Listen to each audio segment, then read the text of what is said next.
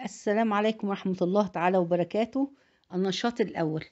أولا نتحدث عن أه- ما هو الهدف من هذا النشاط الأول؟ النشاط الأول بعنوان إيه أولا؟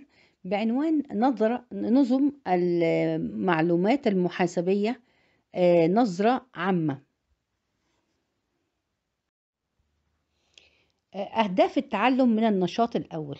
هيشرح ماهية النظام وماهية نظام المعلومات المحاسبي ال Accounting Information System ويميز بين ويوضح الاختلاف بين البيانات والمعلومات ويناقش خصائص المعلومات المفيدة ويشرح كيفية تحديد قيمة المعلومة أولا ما هو تعريف النظام؟ يعرف النظام بأنه وحدتان فأكثر تعمل فيما بينها لتحقيق هدف أو أكثر من هدف وعادة تتألف الأنظمة من أنظمة فرعية. يبقى أي نظام رئيسي له له مجموعة نظم فرعية. كل منه له وظيفة معينة. الوظيفة معينة دي عشان إيه؟ تدعم النظام اللي أكبر منه اللي هو النظام الشامل. هذا هو تعريف النظام. طيب في ضوء تعريف النظام ما هو تعريف نظام المعلومات المحاسبي؟ طيب من من ضوء في ضوء تعريف النظام هنشرح ماهية نظام المعلومات المحاسبية. هو أحد النظم الفرعية في الوحدة الاقتصادية. يبقى كده اعتبرنا الوحدة الاقتصادية إنها النظام الشامل أو النظام الرئيسي. يبقى يبقى نظام المعلومات المحاسبي نظام فرعي من الوحدة الاقتصادية. والوحدة الاقتصادية تتكون من عدة نظم فرعية من ضمنها نظم المعلومات المحاسبية.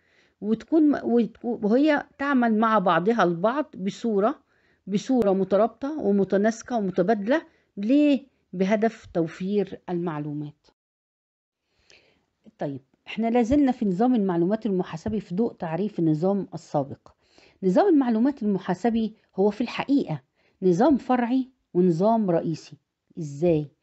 هو هو نظام فرعي لو اعتبرناه أحد نظم المعلومات الفرعية في الوحدة الاقتصادية. الوحدة الاقتصادية يعني المنشأة أو الشركة.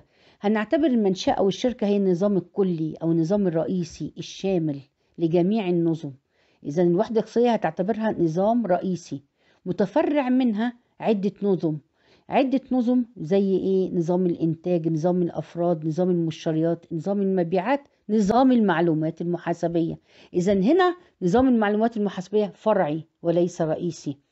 ومين النظام الرئيسي هنا؟ هو الوحدة الاقتصادية هي النظام الرئيسي أو الشامل.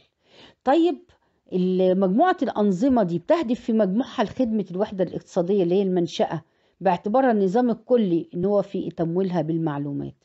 تاني حاجة إيه، ده اعتبرنا فيها النظام المحاسبي نظام فرعي.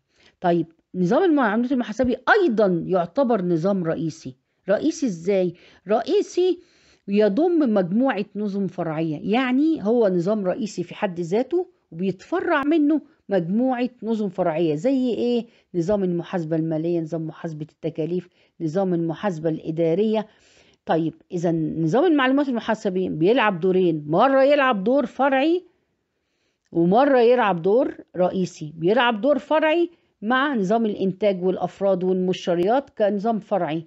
إيه، للوحدة الاقتصادية هي النظام الرئيسي. ومرة هو في حد ذاته نظام رئيسي لمجموعة نظم أقل منه نظم فرعية أقل يعني نظم فرعية اللي هي زي مين؟ زي المحاسبة المالية ونظام المحاسبة التكاليف ونظام المحاسبة الإدارية. طيب عرفنا تعريف نظام المعلومات المحاسبي. طب الله طب إحنا عايزينه ليه؟ لماذا ندرس المنظار إيه أهميته؟ ليه بندرسه؟ ليه بندرسه؟ اللي قالت لنا عليه الفاسب. الفاسب اللي هو مين. مجلس المعايير المحاسبة الأمريكي. عرف الم- المحاسبة بأنها نظام أول أول تعريف هي نظام للمعلومات. هي نظام للمعلومات. إذا الهدف الرئيسي للمحاسبة هو التزويد بمعلومات نافعة لمتخذ القرارات في الشركة أو في المنشأة ويحول ويعالج البيانات الموجودة لمعلومات تنفع متخذي القرارات. إزاي؟ هنعرفها في اللي جاي. طيب ما هي طالما هو نظام للمعلومات؟ طيب إيه هي بقى طبيعة المعلومات التي يتم تزويدها لمتخذ القرارات؟ ما هي طبيعة هذه المعلومات؟ طيب قال لك المعلومات دي هي بيانات تم ترتيبها ومعالجتها عشان تعطي تعطي معلومات ذات معنى وذات مغزى. وقال لك علشان الشركة تقبل هذه المعلومة لابد يكون المنفعة اللي هتيجي منها العائد الفايدة المنفعة اللي هتيجي منها أكتر من التكلفة تكلفة المعلومة دي.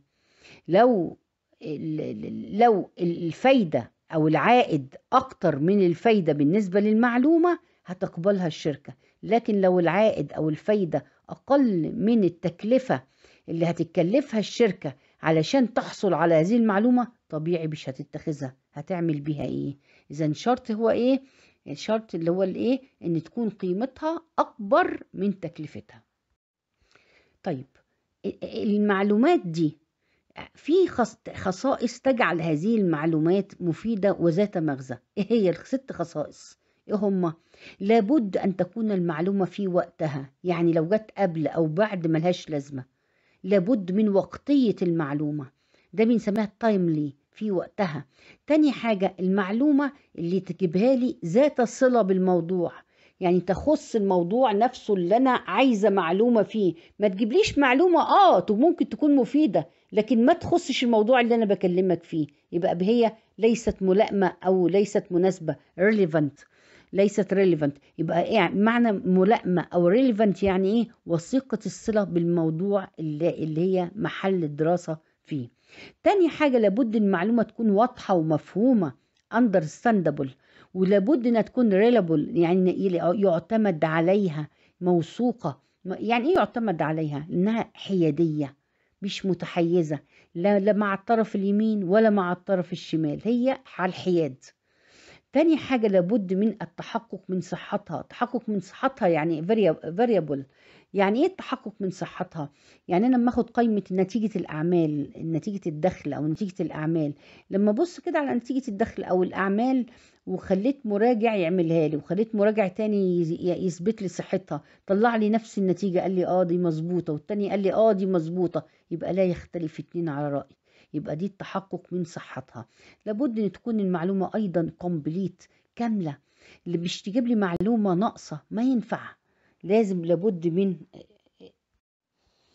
طيب اذا إحنا من الفيديو ده كله اتعلمنا إيه؟